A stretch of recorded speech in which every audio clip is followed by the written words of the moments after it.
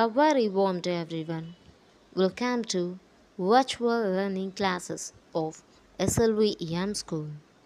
So, in this video, we are going to learn about the poem in our class 7 Home.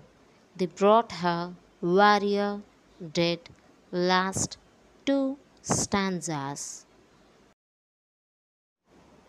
Stanza 3 Stole a maiden from her place, lightly to the warrior stepped, took the face cloth from the face, yet she neither moved nor wept. Because the woman still refuses to grieve, one of the young women present walks up to the dead man and removes the cloth that was covering his face.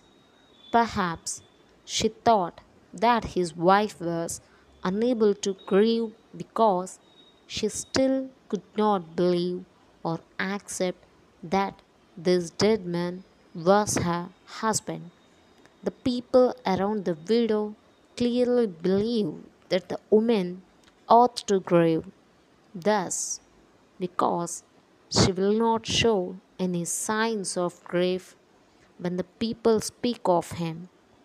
This particular friend shows her the face of her late husband, hoping that this will help the woman to break out of her state of shock and be able to grieve properly. Stanza 4 Rose, a nurse of ninety years, set his child upon her knee. Like summer tempest came her tears. Sweet, my child, I live for thee. With this stanza of home, they brought her warrior dead. The speaker finally reveals to the readers the reason for the widow's silence. She has not been unfeeling or careless of her husband's death. She has not even been in shock or disbelief like the people around her thought. Rather, she has been paralyzed with fear.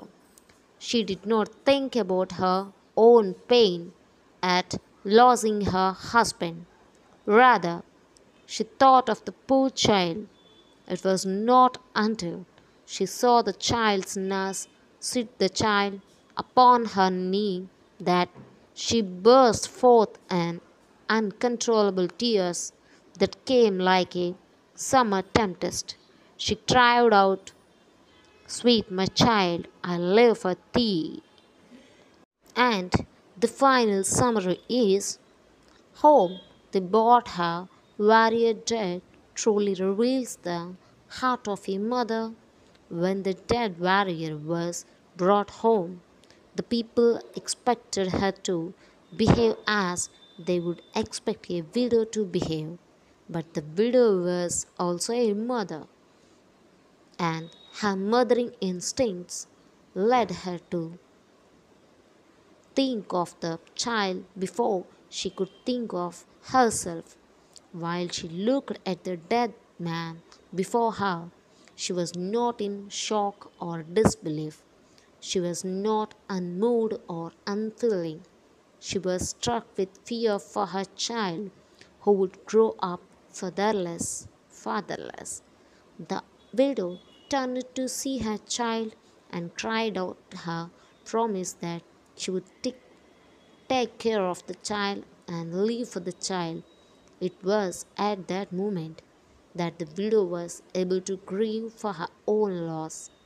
Once she had determined herself to live for her child and to shield and protect the child, even though the child no longer had a father, then she was able to think about her own loss and let out her grief in tears.